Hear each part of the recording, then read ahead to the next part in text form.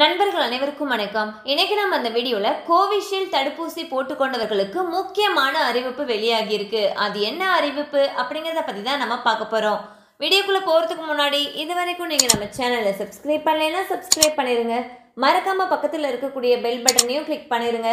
அப்பதான் எங்ககிட்ட இருந்து வரக்கூடிய அனைத்து பயனுள்ள தகவல்களும் உங்களுக்கு கரெக்ட் டைம்க்கு ரீச் ஆகும். இப்போ வாங்க வீடியோக்குள்ள போலாம். ஸோ இந்தியாவில் கோவிட் நைன்டீன் தொற்றுக்கு கோவிஷீல்டு கோவேக்சின் ஸ்புட்னிக் வி போன்ற மூன்று தடுப்பூசிகள் நடைமுறையில் இருக்கு.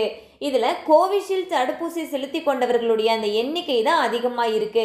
அண்ட் இந்த கோவிஷீல்டு தடுப்பூசியானது பல்வேறு நாடுகளில் செலுத்தப்பட்டு வருகிறது.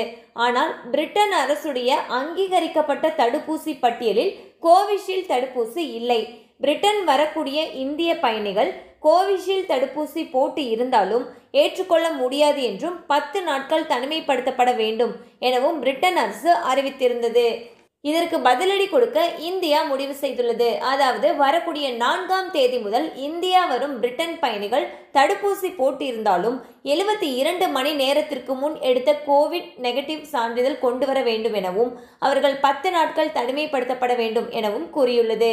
இதனால் கோவிஷீல்டு தடுப்பூசி செலுத்தி பிரிட்டன் செல்பவர்களுக்கு நல்ல தீர்வு விரைவில் கிடைக்கும் என்று எதிர்பார்க்கப்படுகிறது.